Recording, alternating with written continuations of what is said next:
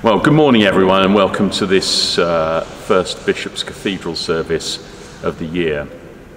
I'm in the cathedral, sadly, most of you are not, but um, you're very welcome to the service, and especially for those of you who have joined Year 7 or Year 12 um, who won't have been to join us for one of these big communal events in St Mary's in Salisbury before, you're very welcome. Normally we've been here for uh, once a month during the year and we will try to repeat that um, through this academic year as well to give you a feeling for what life is really like in more, more normal times at school. It is the chance for all of us to be together um, whether it's actually physically in the cathedral or together listening and having a similar experience. And that is pretty important in the current circumstances. The realization comes when we're all together of the size of the school. It's very difficult to appreciate that, but when the diagonal path fills with people coming over for the Bishop's Cathedral service, you suddenly get a feeling for the nature of the beast, the organic size of the educational institution here in the Close, and it really is a pretty impressive sight. And of course, that's always the way it's been, because John Wordsworth set up the school a century and a quarter ago to be a centre of learning in the Close and to have that shared experience of faith and of education in Salisbury. And still it is today, and we are all a part of that. And I think it's important to remember just how fortunate we are to be able to come to use a magnificent building like this to join our school together once a month or so. So this morning, this creation tide, take a little time as you watch the service to think about what has been and to think about what is to come and to think about what your part in the next year or so of this great school might be.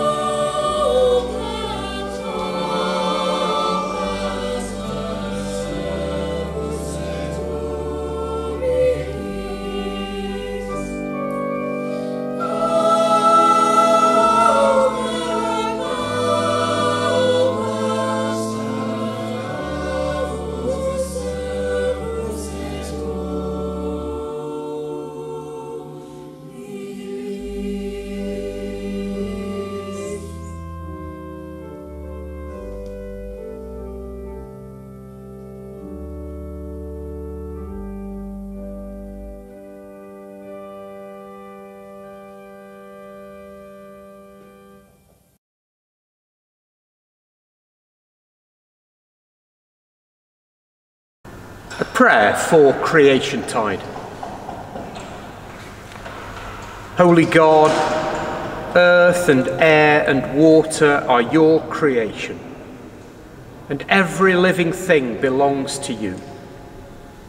You teach us with stories of seeds and weeds and harvest time. You call us to accept your word and bear much fruit.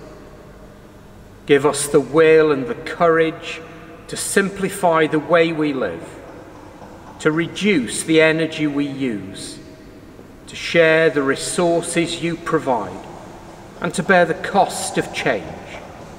Forgive our past mistakes and send us your Spirit with wisdom in present controversies and vision for the future to which you call us. In Jesus Christ our Lord. Amen.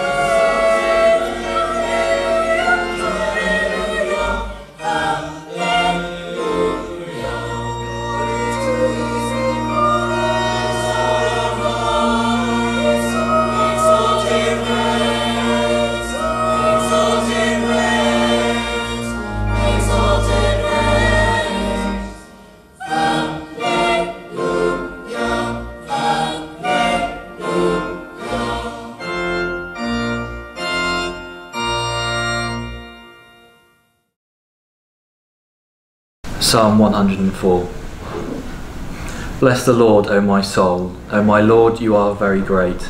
You are clothed with honour and majesty, wrapped in light as with argument. You stretch out the heavens like a tent. You set the beams of your chambers on the waters. You make the clouds your chariot. You ride on the wings of the wind. You make the winds your messengers. Fire and flame your ministers. You set the earth on its foundations so that it shall never be shaken. You cover it with the deep as with a garment. The waters stood above the mountains. At your rebuke they flee, flee. At the sound of your thunder they take to flight. They rose up to the mountains, ran down the valleys to the place that you appointed for them. You set a boundary that they may not pass, so that they might not again cover the earth. You may make springs gush forth into the valleys, they flow before the hills. Giving drink to every wild animal, the wild asses quench their thirst. By the streams the birds of the air have their habitation, they sing among the branches. From your lofty abode you water the mountains, the earth is satisfied with the fruit of your work. You cause the grass to grow for the cattle, and plants to, for the people to use. To bring forth food from the earth, and wine to gladden the human heart, oil to make the face shine, and bread to strengthen the human heart. This is the word of the Lord.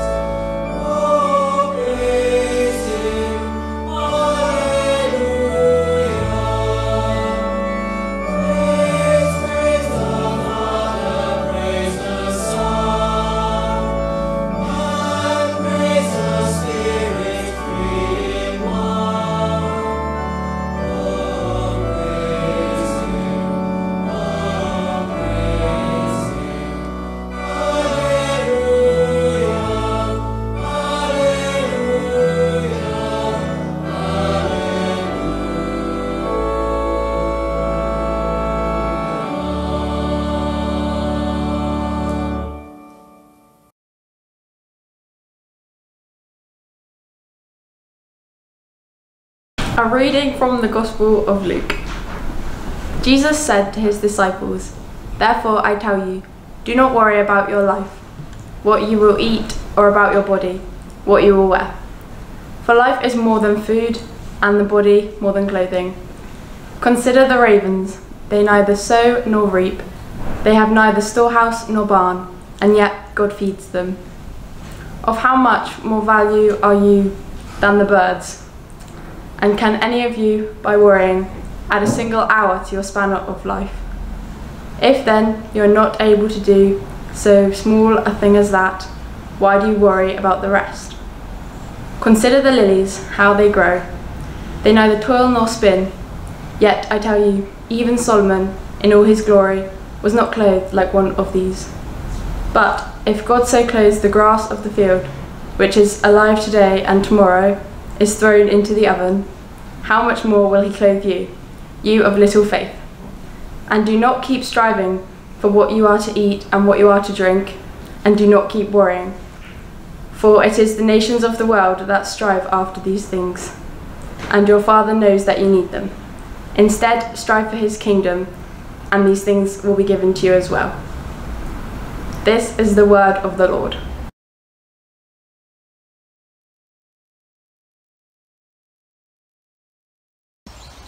Being outside in the countryside is a great place to start with creation tide. This is where we have most sense of things growing, of what we would normally call the natural world. Where we see what old-fashioned harvest festival was focused on. It was all about the crops, it was about uh, the animals, the, uh, the sheep we got here, cows, whatever it might be. It was about a heartfelt sense of thanksgiving that there was going to be food to see them through the winter and they would live another year.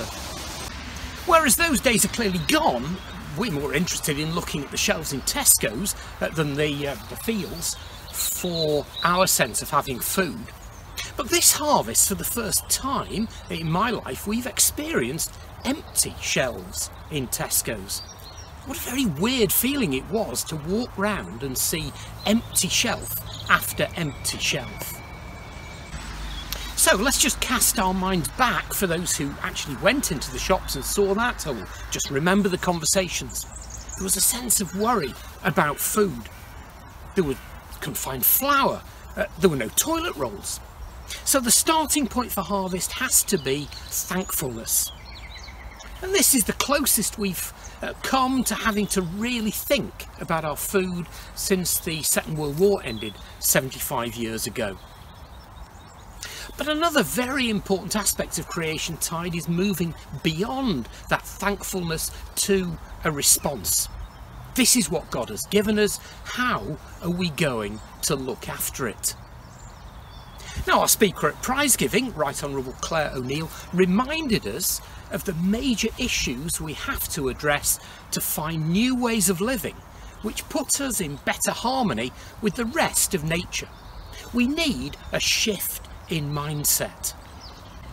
But I speak today to a group who are some of the most intelligent of your generation in the world. You are just the sort of people who can do the creative thinking necessary to move us in the right direction. Lots of you are doing science A levels and can later work in engineering and technology and related fields. And there are some great solutions being worked on at present. Finding new ways of doing old things, so JCB, an excellent example, as they shift from diesel engines to electric powered by either standard lithium batteries or, for some of their really big diggers, uh, hydrogen fuel cells. There's a project being developed uh, to run a hydrogen fuel cell powered ferry between Cardiff and Bristol, rethinking use of water as a means of transport uh, which surrounds our country and is underused. So, at a much smaller scale, something for now for you you can explore important ideas like repair to keep things going longer instead of throwing them away. Like developing the skills learned in DT and applying them to the huge number of gadgets around our homes. You could learn how to use charity shops for clothing. Be creative, don't just look at what it is now, look at what it can become when you apply your talents to it. Now, these are clearly challenging times, but challenge is what we thrive on in Bishop Wordsworth School. When we're confronted by climate change, our response should not be fear, but a motivation to use all the God-given talents we have in this school to find solutions.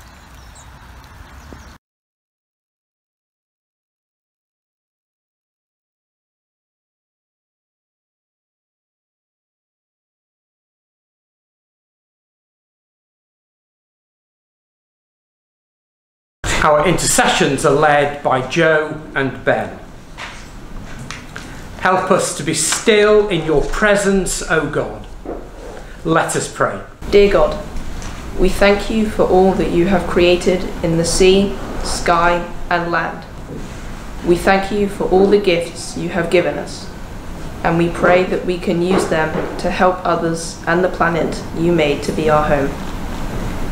We're sorry for all the terrible things we have done to pollute the earth and kill the life you have created in it. And we pray that you will guide us to a time without war or suffering, and a time where we can all protect the gift that you have given us.